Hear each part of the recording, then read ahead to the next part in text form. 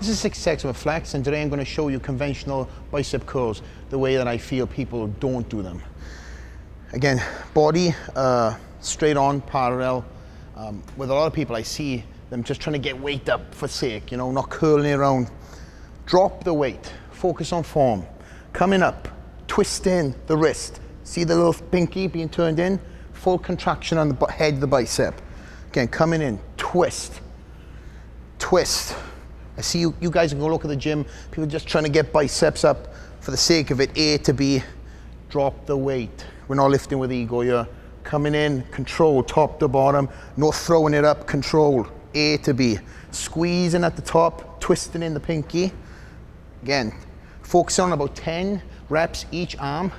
Uh, sets about four to five, and you want you guys to throw this into your next bicep workout.